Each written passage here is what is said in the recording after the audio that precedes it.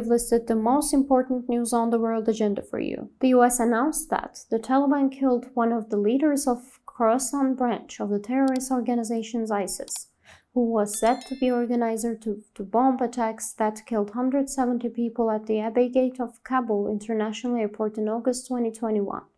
The West is preparing for new wars to maintain its dominance in the world, Russian Foreign Minister Sergei Lavrov said after the United Nations Security Council meeting.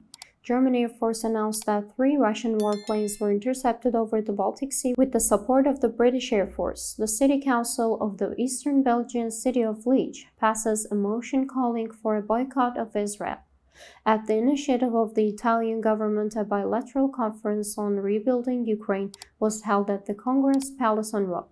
Finnish President Sauli Niinisto stated that his country's NATO membership is not targeting anyone. We are maximizing our own security through NATO. We will protect our values. Finland will continue to be a stable and predictable Scandinavian country aiming for peaceful settlement for disputes. To reach all the actual news fast and reliable worldwide, please don't forget to follow and like us.